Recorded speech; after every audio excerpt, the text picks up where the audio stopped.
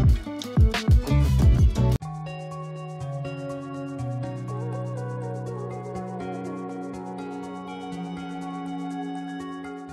Herzlich willkommen zu einem neuen Vlog und ich kann selber kaum glauben, dass ich das sage, aber wir haben schon Donnerstag. Wir haben Donnerstag und die ersten drei Tage habe ich so ein bisschen für mich genommen. Als eine Art mentaler Urlaub. Ich war relativ wenig auf Social Media unterwegs, habe sehr viel das gemacht, was mir Spaß macht. Unter anderem habe ich genäht, dazu kommen wir gleich. Und am Wochenende steht dafür umso mehr an. Heute ist tatsächlich eher noch ein ruhigerer Tag und ich mache mich gleich auf den Weg in die Stadt. Morgen treffe ich mich einmal zum Laufen und einmal treffe ich einen Freund aus Berlin.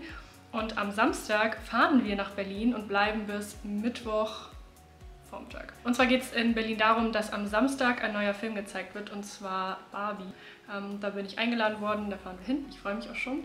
Und da kommen wir auch gleich zum Nähaspekt, weil ich habe mir ein Outfit genäht. Habe ich schon sehr lange nicht mehr gemacht. Und dass wir bis Mittwoch da bleiben, ist dem geschuldet, dass wir am Dienstag ein Fotoshooting, ein Videodreh mit Mizuno und Top for Running haben. Und abends dann einen Community Run. Und das wird auch richtig cool und ich freue mich auch sehr drauf. Ich bin sehr, sehr, sehr gespannt, vor allen Dingen auch noch in Berlin. Ich liebe ja Berlin. Das ist erstmal so die ganz, ganz grobe Planung, was im Einzelnen dann genau passiert. Zeige ich euch dann die Tage, nehme euch natürlich mit. Was jetzt den Nähaspekt angeht, ich habe tatsächlich, vielleicht wissen es einige von euch, drei Jahre lang Modedesign studiert. Ist so ein kleiner Funfact, ich habe das Studium nicht abgeschlossen, weil man für den Bachelor da mal eine Kollektion genäht hat und eine Bachelorarbeit geschrieben hat, relativ viel Geld brauchte, um diese Kollektion zu nähen. Und damals hätte ich mir dann noch ein Semester rausnehmen müssen, um zu arbeiten, um das Geld dafür zu verdienen. Und das war es mir dann irgendwie nicht wert, weil ich mich da beruflich einfach gar nicht so gesehen habe. Dann habe ich ja Fitnessökonomie studiert, ähm, dreieinhalb Jahre und habe dann da auch meinen Bachelor gemacht. Kann aber immer noch nähen. Liebe das immer noch, habe es aber so lange nicht mehr gemacht. Und irgendwie, fragt mich nicht warum, aber irgendwie bin ich auf den Trichter gekommen, dass ich mal wieder nähen möchte. Und weil es ja ein Barbie-Film ist, habe ich mir was Pinkes genäht.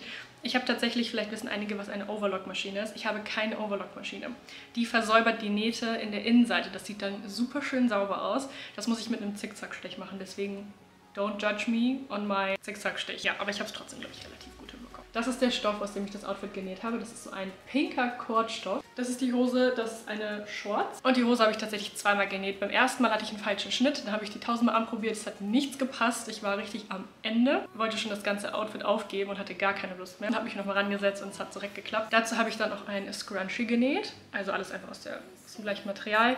Und ich sage euch, Scrunchies aus dem Kordmaterial, das ist die Hölle. Das werde ich nie wieder tun. Und jetzt kommen wir zum Oberteil. Da ist ja wirklich ein Zweiteiler aus einem Material ist. Es ist natürlich auch pink aus Cord. Es ist eigentlich ja, ganz normales T-Shirt, was ein bisschen kastenförmiger geschnitten ist. Es ist ein Crop Top. So sieht man das Material vielleicht nochmal ganz gut. Jetzt muss ich das eben nochmal zumachen, weil die Rückseite ist sehr, sehr schön. Da habe ich tatsächlich so ein paar Details eingearbeitet, die man auch an den Barbie-Kleidern früher gefunden hat. Vielleicht kennt der ein oder andere noch diese, diese Rosen. Kennt ihr die noch? Die waren doch immer an diesen Prinzessinnenkleider irgendwie hier oben oder am Ärmel oder so dran. Und die habe ich dann einfach ähm, nicht als Knopf, aber einfach so da, wo die Schleifen zusammengebunden werden, das sind drei Stück, habe ich die dann quasi immer da auf der Höhe einfach platziert. Das ist quasi so ein offener Rücken mit drei Bändern, wo man dann die Schleife hier zumachen kann. Und das sieht in Kombination eigentlich ganz cool aus. Aber immer wenn ich im Stoffladen bin oder auch früher war, habe ich mir nicht nur was mitgenommen, wo ich ein Projekt genäht habe, sondern das ist so ein kleines Schlaraffenland. Und dann nehme ich immer noch Stoffe mit, wo ich mir andere Dinge vorstellen kann, die ich dann noch nähe. Und das ist natürlich auch diesmal passiert. Unter anderem habe ich dieses Oberteil hier genäht. Das hat äh, ein bisschen längere Ärmel, Blusen, Sommerstoff würde ich sagen. Ich fand den total schön und kannte den auch schon von anderen Teilen, die ich mal irgendwo gekauft habe. Habe das dann hier am Ärmel noch mit so einem Band versäubert. Ein sehr gemütliches Sommerteil. Und hier ist es quasi noch so ein bisschen gerafft. Da hatte ich noch ein bisschen Stoff über. Habe das dann noch so ein bisschen da unten dran genäht, damit es nicht so kurz ist. Und die Rückseite ist auch wieder offen. Also da habe ich dann quasi mit ein paar Knöpfen das Ganze zusammengebunden, aber eigentlich auch eher mit einem offenen. Und da ich noch mehr Lust hatte zu nähen, habe ich noch einen Teil gemacht. Vielleicht könnt ihr euch ja noch an dieses eine Top erinnern, das ich mir zum Laufen gekauft hatte. Dieses gelbe, hellgelbe Top, was ich immer über die Shorts gerne ziehe, über diese grüne, was ein tolles Sommeroutfit zum Laufen ist. Und ich habe in der Farbe halt einen Stoff gefunden für ein T-Shirt. Ich mag total gerne das Material. Bin eigentlich auch richtig happy. Das ist wieder so ein Crop Top und hinten ist der Rücken quasi wieder offen und ich habe dann auch wieder mit Knöpfen gearbeitet. Und tatsächlich hatte ich wirklich gestern von morgens bis abends Bock zu nähen. Den ganzen Tag. Das ist erstmal so der Stand der Dinge. Ja, Laufplan, Freunde. Der Laufplan für den Marathon. Irgendwie habe ich das einfach so ein bisschen vergessen und jetzt gemerkt, dass wir nur noch zehn Wochen haben. Ich glaube tatsächlich, es sind nicht mal mehr ganz zehn Wochen. Hm. Nicht so gut, würde ich mal sagen. Aber ich habe mich schon im Plan umgeguckt. Ich habe mir auch schon ein, zwei Pläne runtergeladen, habe so ein bisschen geschaut, was die so beinhalten und werde vielleicht einen zusammenwürfeln im Endeffekt aus mehreren Plänen und mir einfach so ein bisschen Inspiration holen. Und ich habe eigentlich auch geplant am Sonntag, dass ich da einen Long Run mache. Also 20 Kilometer, 22 Kilometer wollte ich da eigentlich schon mal machen. Und bevor es jetzt so warm wird, fahre ich in die Stadt. Es könnte auch noch regnen, also beeile ich mich. Ich bin wieder zurück aus der Stadt und jetzt fängt es an zu regnen. Ich hatte so Glück. Wenn euch dieses ganze Nähthema nicht so doll interessiert, dann skippt gerne zu Freitag, also morgen. Da wird es mehr Food-Content geben und auch mehr Lauf-Content. Ich wollte euch noch mal eben zeigen, was ich aus der Stadt an Stoffen und Accessoires für Samstag mitgenommen habe. Diese Tasche. Ich finde, die sieht wirklich nach Barbie-Accessoire aus. Und da kann man auch mal so, wenn man spazieren geht, also auch zu einem weißen Oberteil, sieht super schön aus, öfter verwenden, weil ich mag das nicht immer nur zu einem Outfit Accessoires oder Schuhe oder sonst irgendwas zu kaufen. Ich gucke da immer schon, zu welchen Sachen ich das noch kombinieren kann, die ich im Schrank habe. Und die ist richtig schön. Ich glaube, die hätte ich mir auch gekauft, ohne dass ich es am Samstag zu diesem Event gehe. Aus dem Stoffladen habe ich quasi das, was ich gerade anhabe, nochmal in einer anderen Farbe mitgenommen. Und den gleichen Stoff nochmal in diesem Grau. Ich würde sagen, das ist so ein grau-blau. Und einmal diesen Waffelstoff. Ich weiß gar nicht, ob man das Waffelstoff nennt, aber ich glaube schon, weil das sieht aus wie so ein Waffelhörnchen. Aber der ist tatsächlich richtig dünn. Also das ist wirklich für so T-Shirts oder Longsleeves. Und ich wollte daraus eigentlich entweder ein T-Shirt oder ein Longsleeve mit einer passenden Shorts dazu machen. Ja, und dann eigentlich nur noch so Accessoires wie Gummibänder, passendes Garn und so weiter. Auch noch was zu essen. Ich liebe diesen Bagel, ich esse den sehr oft da. Und zwar haben die den sogar nochmal warm gemacht. Das ist so ein Cream Cheese Bagel. Sehr simpel, sehr lecker. Hello und wunderschönen guten Morgen. Wir haben Freitag, das Wetter ist herrlich. Ich treffe mich gleich mit Leon und später mit Daniel zum Laufen. Bevor ich jetzt mir noch einen Kaffee mache und frühstücke, wollte ich noch mal kurz ein Produkt zeigen, was ich immer nutze. Eigentlich, wenn ich gerade ein bisschen Hautunreinheiten habe. Vor allen Dingen während meiner Periode, wenn ich noch mehr Hautunreinheiten habe als sonst. Wasche erst mein Gesicht, dann, also ich schmecke mich erst ab, wasche mein Gesicht mit Wasser und dann packe ich das hier rauf. Vielleicht kennt der eine oder andere das auch schon von euch. Ähm, das ist echt richtig gut. Ich benutze es abends immer so, ich würde sagen, fünf Tage die Woche und je nachdem, wie doll ich das natürlich habe, ein bisschen weniger oder ein bisschen mehr. Und dann habe ich noch für das Event am Samstag ein paar Ohrringe gekauft. Ich fand es irgendwie ganz cool, weil die passen zum Anlass. Und man könnte auch die benutzen, aber irgendwie, dass das ein bisschen besser passt. Ich habe auch tatsächlich heute schon das an, was ich gestern Abend genäht habe. Ich bin auch relativ zufrieden eigentlich. Ähm, ja, also für mich sehr wohl. Fand das ein super Projekt für gestern Abend noch. Jetzt brauche ich aber echt einen Kaffee und Frühstück. Ich übrigens auch sehr gerne trinke, sind diese Kefir-Geschichten. Nur der hat jetzt ähm, Laktose. Also ich bin ja laktoseintolerant, deswegen kann ich das jetzt zum Beispiel nicht trinken. An sich mag ich es aber sehr gerne. Der hat jetzt nicht so viel Eiweiß wie der andere, den ich letztes Mal gezeigt habe. An sich ist es eigentlich eine ganz gute Sache.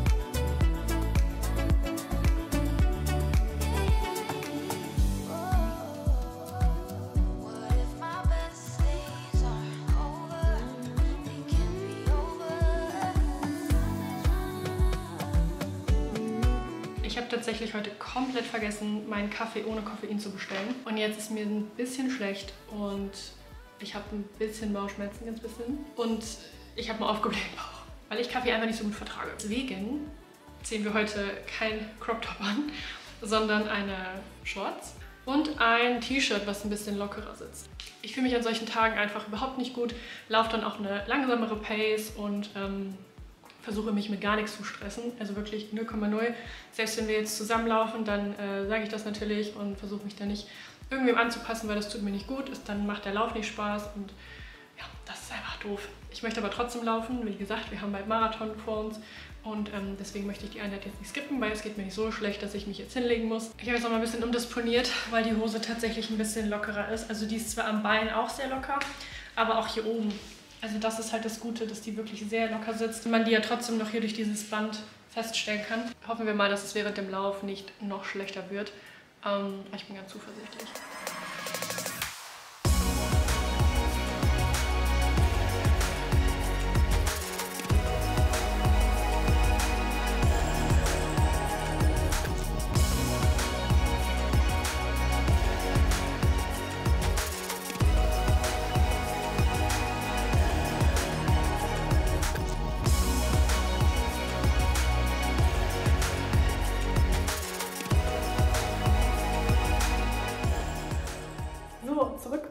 Vom Laufen und ich muss tatsächlich sagen, ich weiß schon wieder gar nicht, wie viel wir eigentlich gelaufen sind. Ich muss mal eben hier nachgucken. Ich habe tatsächlich aber schon gemerkt, dass ich ein bisschen aus der Puste war. Dafür lief es trotzdem gut. Also ich finde das immer richtig cool, ähm, mit Daniel zu laufen, weil tatsächlich auch irgendwie immer die Zeit relativ schnell vergeht, weil man sich auch immer ein bisschen unterhält und das finde ich dann immer ganz cool. 13,1 Kilometer. Kann man auch die Strecke sehen, die wir gelaufen sind. Also wir sind dann einmal quer durch die Almriede gelaufen. An der App zum Beispiel finde ich ganz gut, dass man hier sehen kann, wo welcher Kilometer. Weil manchmal denkt man sich ähm, im Nachhinein, wie weit ist es wohl, wenn man nächstes Mal direkt dahin läuft. Und bei der Apple Watch sieht man zum Beispiel nur ähm, an dieser Leiste hier unten auch, wann man wie schnell gelaufen ist. Also zum Beispiel, wann man am schnellsten gelaufen ist, wann man ein bisschen langsamer gelaufen ist, also diese Farbskala. Aber bei der Garmin sieht man zum Beispiel, ähm, dass hier Kilometer 2, 4 und 5, glaube ich, da sieht man halt, wo welcher Kilometer war. Und das finde ich tatsächlich richtig gut. Mit ganz viel Fantasie sieht es so ein bisschen aus wie ein Schmetterling, aber ich glaube nicht. Wir hatten ein paar Höhenmeter dabei. Ich gucke mal eben, wie viele das waren. Insgesamt Anstieg 30 Höhenmeter. 25 Grad. Ich muss sagen, ich wäre heute alleine nicht so weit gelaufen und das ist auch überhaupt nicht schlimm, dass man vielleicht alleine nicht so viel Lust hat, dass man dann ein, zwei Kilometer vielleicht weniger läuft. Aber in dieser Hinsicht kann ich es immer nur wieder betonen, ich glaube, ich sage das in jedem Vlog einmal, dass man an solchen Tagen ähm, ruhig mal jemanden fragen kann, weil das sehr, sehr doll hilft. Gerade wenn man jetzt in der Vorbereitung ist für einen Halbmarathon oder Marathon, dann muss man einfach ein bisschen Strecke machen. Dass man da einfach jemanden fragt, ob man irgendwie ab Kilometer 7 begleitet werden kann oder die letzten 10 Kilometer von dem Lauf oder so. Das hilft schon. Übrigens ähm, ist mein Bauch nicht mehr aufgebläht. Das wollte ich noch sagen. Die Hose hat, glaube ich, sehr viel dazu beigetragen, weil wenn man eine Hose trägt, die noch so richtig reindrückt, also eine enge Hose, dann macht es das bei mir gefühlt, muss nicht sein, aber gefühlt immer noch schlimmer. Am Dienstag wird es ein Shooting mit Mizuno geben und Top for Running. Und ich habe mal ein paar Sachen rausgesucht, damit wir ganz viele Möglichkeiten haben, was Outfits angeht. Das sind alles Sport-Tops oder auch T-Shirts. Und das sind jetzt Shorts. Ähm, ja, also alles relativ gut miteinander kombinierbar. Viele Basic-Farben, damit wir einfach ganz, ganz viele Möglichkeiten haben.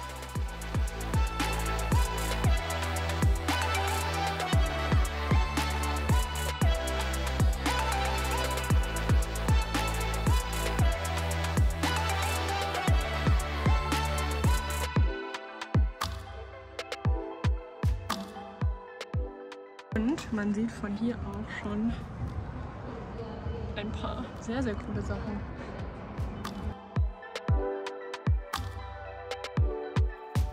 So, wir sind in Berlin angekommen und ich habe mich auch schon fertig gemacht. Ich habe mein Outfit an, was ich genäht habe. Und es passt eigentlich alles sehr gut zusammen. Also der Schmuck und das Outfit und die Tasche. Und ich habe hier noch so ein pinkes Scrunchie drin. Das passt richtig gut dazu. Wir haben auch gerade schon ein paar Fotos gemacht. Ich blende euch die hier mal ein.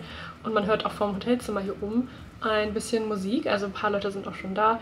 Und wir haben jetzt noch ungefähr eine halbe Stunde. Dann treffen wir uns mit ein paar weiteren Leuten, die auch da sein werden. Und dann ja, bin ich sehr gespannt, was einfach passiert. Ich weiß gar nicht so wirklich, was da auf einen zukommt. Ich denke mal, das ist einfach so ein Get-Together und dann ähm, gibt es vielleicht einen Drink oder paar Snacks oder irgendwie so. Und dann schaut man den Film und ja, wie gesagt, freue mich einfach, was passiert und werde euch natürlich mitnehmen und so gut es geht ein paar Sachen filmen.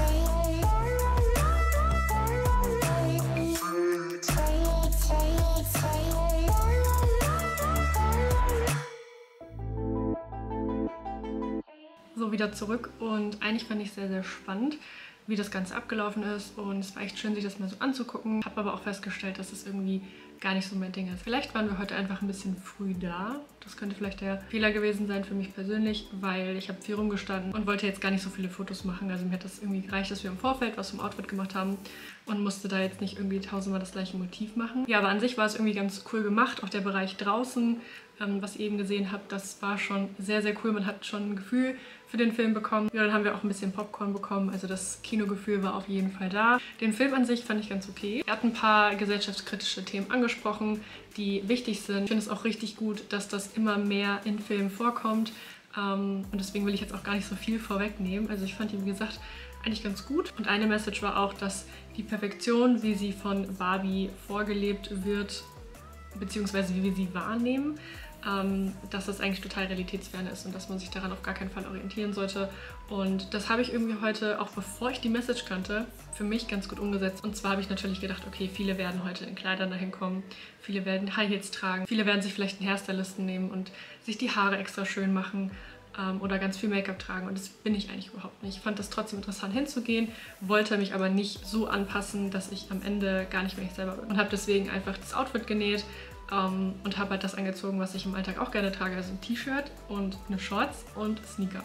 Habe mich jetzt nicht extrem stark geschminkt. Ich habe einfach einen Zopf gemacht, wie ich es auch im Alltag gerne mache. Ich hatte meine Haare nicht offen. Das ist halt so wichtig, sich einfach selber treu zu bleiben und sich nicht für ein Event oder ähm, andere Menschen oder irgendwas anderes zu verändern. Also es lohnt sich auf jeden Fall, dieses Streben nach Perfektion aufzugeben.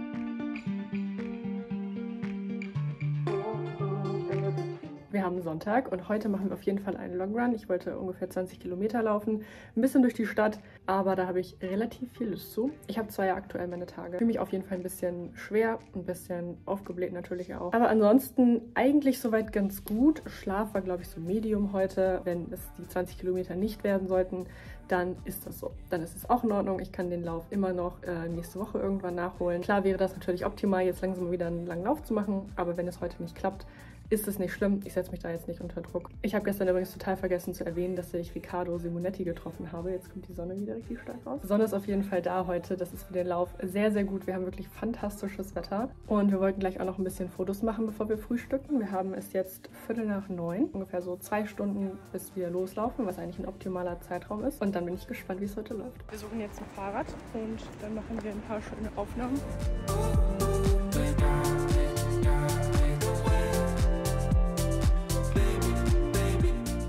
Wir im Sommer Content machen, vergesse ich immer, wie warm das ist. Es ist jetzt immer schon nach dem ersten Video super warm und meistens klappt es dann nicht, sich umzuziehen, weil man so schwitzig ist, dass man in die anderen Sachen gar nicht mehr reinkommt. Aber wir haben richtig Glück mit dem Wetter, es ist super schön.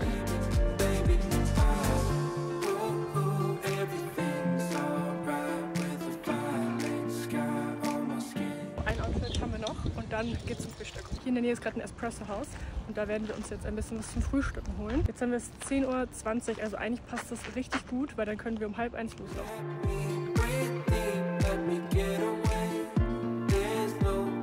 Ich habe mir jetzt ein Porridge geholt mit, was steht hier drauf? Mango Minze. Genau, das passt eigentlich perfekt von der Laufeinheit.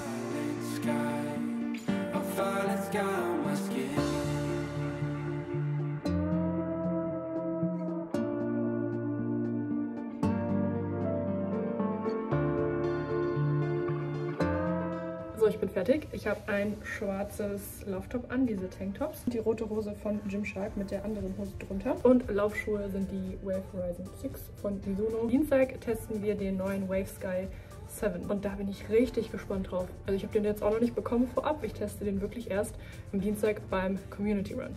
Ist zwar ein bisschen blöd, dass es erst im nächsten Vlog kommt, ähm, aber das ist halt nächste Woche.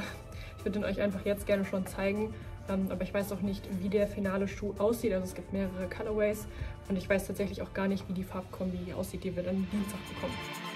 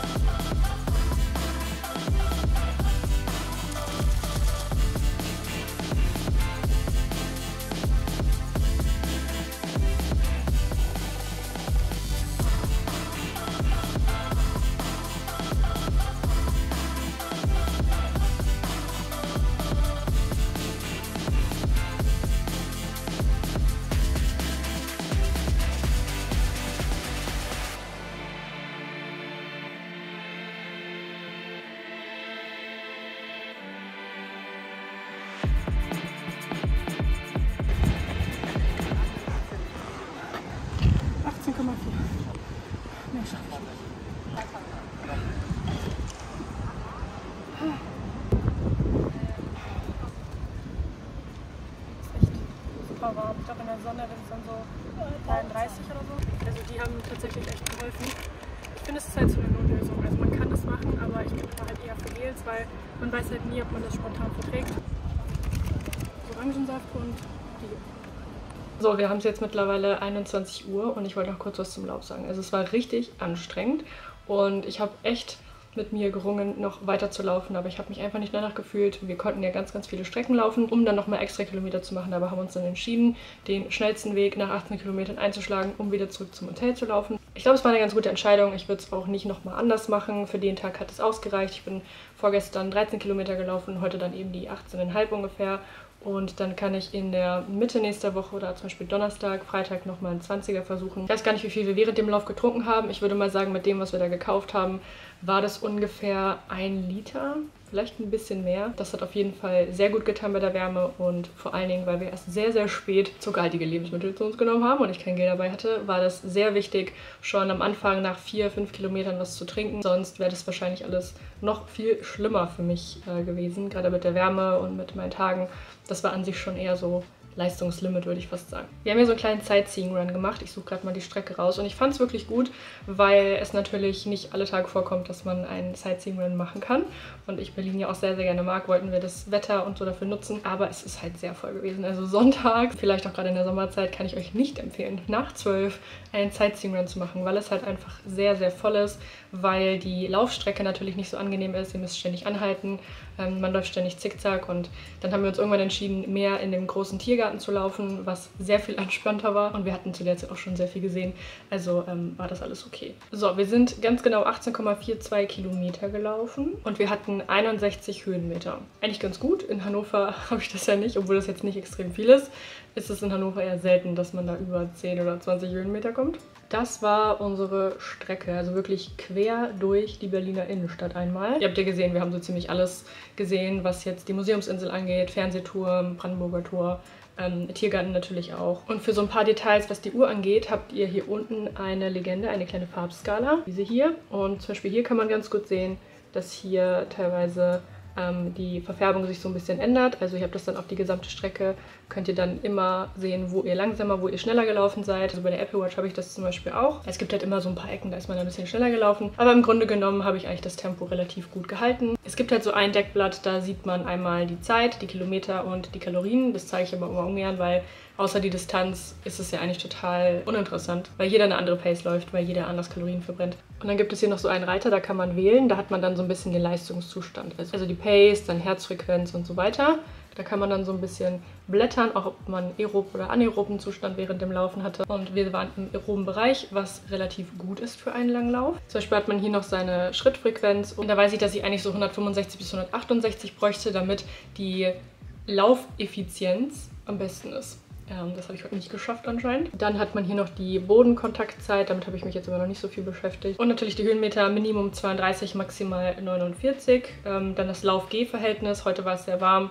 Ich mache das einfach manchmal so wie auf Aruba, dass ich einfach bei heißen Läufen ein bisschen gehe. Je nachdem, wie man sich vorbereitet auf so einen Marathon. Man kann natürlich sagen, ich möchte eine gute Zeit laufen dann wird man wahrscheinlich eher dazu neigen, keine Pause zu machen und richtig durchzuziehen. Aber wenn ich jetzt keine genaue Zeit anstrebe und einfach sage, ich möchte den Marathon schaffen und ich laufe das einfach, weil ich das total schön finde, an diesem Event teilzunehmen, dann mache ich mir gar keinen Druck und gehe auch mal zwischendurch. Und hier sieht man halt dieses Laufpausen- bzw. das Gehverhältnis. Da schlägt es dann ein paar Mal aus. Hier gibt es auch einen orangenen Reiter, der heißt inaktiv. Das heißt, wenn man Pause macht, zum Beispiel wie in der Ampel oder so. Ja, das ist so eine kleine Auswertung. Jetzt haben wir gerade einen schönen Sonnenuntergang und wollten uns nochmal einen Kaffee, koffeinfrei natürlich, holen und dann ähm, Richtung Spree gehen, also Richtung Brandenburger Tor, Richtung Spree und wollten dann nochmal so ein bisschen den Abend verbringen. Und bevor jetzt die Sonne gleich ganz weg ist, gehen wir los.